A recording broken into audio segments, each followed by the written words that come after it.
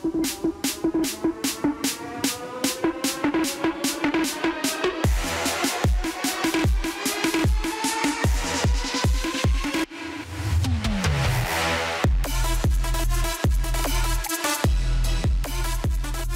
back on the SportsMax Zone, we turn to athletics. Three-time Olympic gold medalist Shelly-Ann Fraser-Pryce has announced she'll re be retiring following the 2024 Paris Olympics. The 37-year-old Fraser-Pryce, in an interview with Essence.com, says her family is her priority at this stage of her life.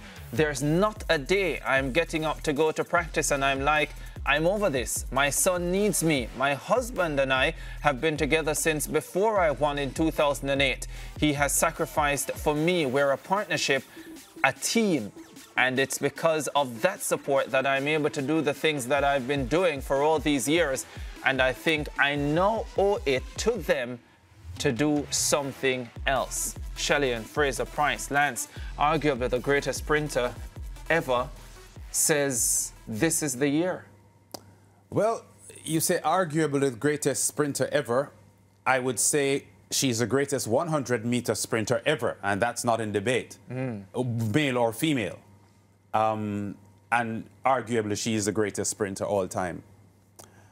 I think she's making a good decision because she has given enough. This is 15 years now of competing successfully at the highest level. And regardless of what happens uh, to her in, in Paris, I think it is a good decision. She turns 38 years old in December, and um, there's nothing more for her to prove, quite frankly. And I, I, think, I think this is a good decision.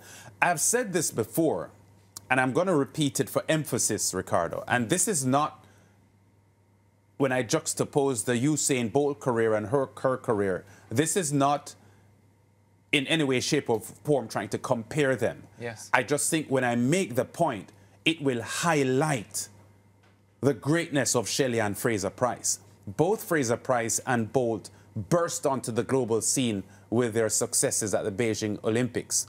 Bolt retires in 2017. Six years after Bolt retires, Shelly-Ann Fraser is the Laureus Sportswoman of the Year. Not track and field athlete of the year. She is the greatest sportswoman in all sport in 2023. And that tells me something that while Bolt is rightly given the phenomenal labor that he is given, there has to be something said about the colossal nature of Shelly-Ann Fraser-Pryce's brilliance, and let me add to that, longevity. Yes. Because Bolt has long retired. Yes. And he's great, phenomenal. There's no athlete that has captured track and field in a way that Bolt has. But Shelly-Ann Fraser-Pryce, still one of the best in the world, and in 2022, because of her performances, was the 2023 um, announced 2023 as the Laureus Sportswoman, Sportswoman of the Year, ahead of all of the greatest sports stars in, in the world, the tennis stars, the swimmers, everyone. I just think that Shelly-Ann has achieved enough and there's no there's nothing else that we could ask of her. Yeah, a few things here, Lance. So I, I completely agree with you. One, I think this is significant because while we speculated and while Shelly-Ann Fraser Pryce has hinted at it in the past that this could be her final year and Paris for sure will be her final Olympic Games, I think in the back of our minds, we were always thinking there's that possibility that she could go on beyond 2024, depending on whether her body held up and how she performed at the Olympic Games. Yes. And because of how phenomenally she has been performing in recent years as well, it was not beyond imagination that she could decide to go True beyond this season. But I agree with you. I think she is making a very good decision, regardless of what happens in 2024 and what happens at the Olympic Games. Onto the point about not comparing Shelly-Ann Fraser Pryce and Usain Bolt. And at the risk of being battered like Yohan Blake, let me say that Usain Bolt, during his time, and understandably so, overshadowed many athletes in the sport of track and field. Shelly-Ann Fraser Pryce was one of those athletes. In my opinion, I think Shelly-Ann Fraser Pryce has become the face of track and field in many ways um, because, of course, the 100 meters being the blue ribbon event.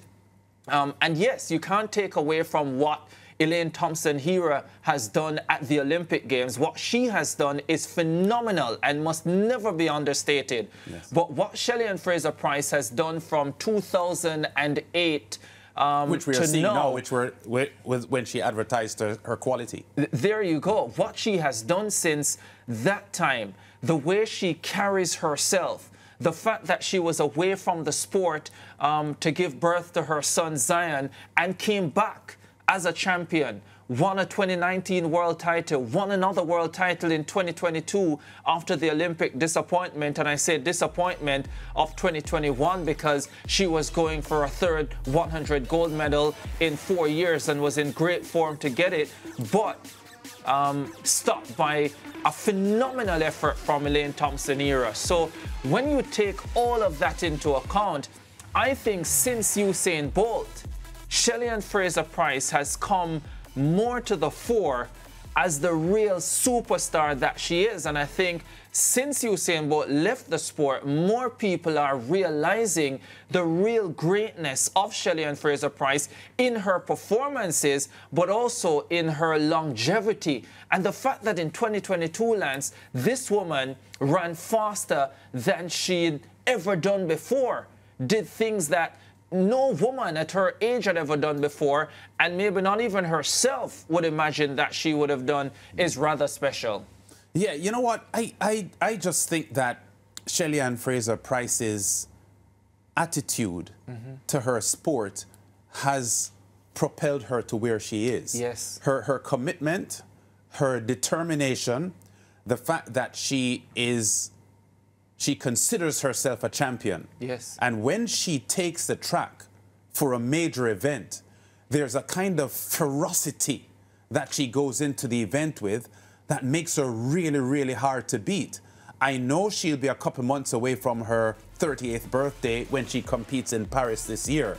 But it takes a brave analyst to write her off for gold because this is the stage that Shelly-Ann Fraser-Pryce shows her class. Yeah. And while there are a lot of younger stars rising, Shelly-Ann Fraser-Pryce on a world championship moment or an Olympic moment has shown consistently through her career, not yeah. up and down, yes. consistently through her career, that when she takes a track and a major gold medal is at stake, you can't write her off. She is one of the greatest champions the sport has ever seen, Lance. In um, following her 2019 World Championship success in Doha, I had done a piece looking at her achievements, um, specifically in the 100 meters and the win percentage. No other sprinter um, on the women's side compared to her. And I think you had to go to the distance events yes. to the likes of Tirunesh Dibaba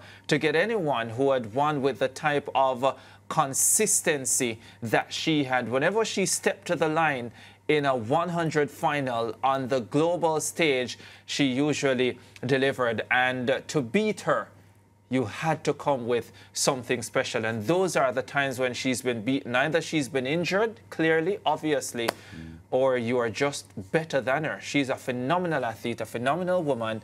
And yeah, I won't be able to say much more about her if I don't take this break um, because my producer will take charge. We'll be back with more on the SportsMax Zone.